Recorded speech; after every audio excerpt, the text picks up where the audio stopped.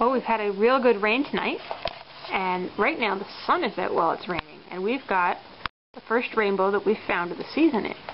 And you probably can't see it, but it's actually a double rainbow. The one to the left is a lot fainter though, but it's very pretty. I've never ever seen a rainbow before. Yeah, it's the first one of the year that we've seen. Yeah. Actually, I think I saw one last year at the park. Yeah, we probably did. Yeah, you can pick them up. Shoes? No, just just a minute, I'll get them. Oh, a guitar. Hi, Rainbow. Yeah, we had a real nice hot day today and got a little bit of gardening done.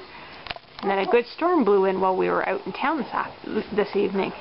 It was light rain and so windy.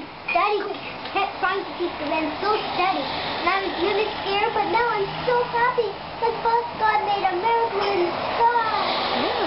Because he saw how scared we were, and he made a rainbow to make us happy. And to tell him and to tell us that he loves us very much and will never make something better. Then song can we get?